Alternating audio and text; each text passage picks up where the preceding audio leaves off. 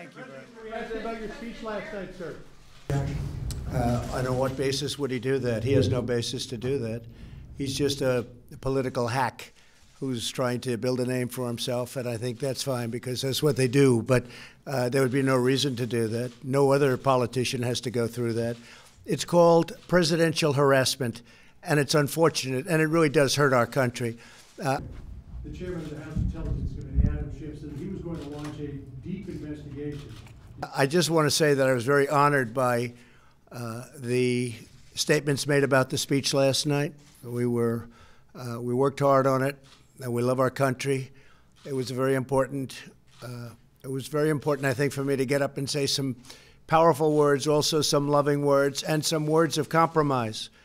And uh, it's been very well received. The speech, I think, has been very well received, in some cases, incredibly well received. And I just want to thank all of those people that said such nice things about the job we did last night.